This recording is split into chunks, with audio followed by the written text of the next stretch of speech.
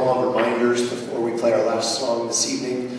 We are going to the Legend High School Jazz Festival on Friday, and I need all the students here at school by 6.30. That's 6.30 a.m.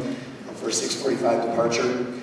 Um, for lunch, we're going to stop on the way back. The, the kids voted. We're going to stop on the way back and, and grab some fast food, probably at McDonald's. They can also come and get some stuff here. We'll be back pretty close to the, uh, during the D lunch time. We'll be back for fourth hour um, on, on Friday. So it should be a great performance um, out there. You're welcome to come and listen. I think I sent all that information um, in the email. Thanks to Wendy Collins for coming with us on Friday um, as well.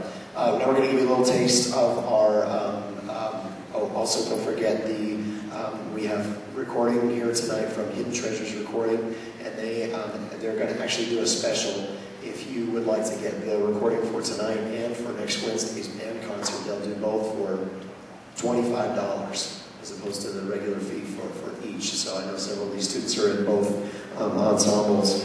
Um, if you'd like, please take advantage of that. And it's, if you order tonight, then you can get that, that special. And we'll give them, and they will have it mailed to you before um, the holidays, before Christmas time. And they mail it directly to your house. So take advantage of that opportunity. There's a table out um, in the auditorium, or outside the auditorium, excuse me, uh, where you can order for that. I'd like to thank our theater manager, Eric Sammons, and the student techs in uh, the booth tonight, Chris Proctor and John. I'm sorry, I don't know your last name, but I'll learn it before next concert. Um, we're going to end this evening um, with a little taste of our salute to the veterans with a tune that you will all know.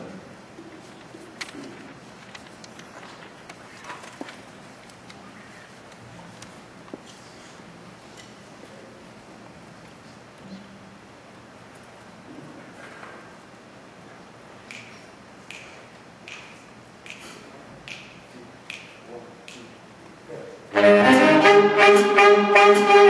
you.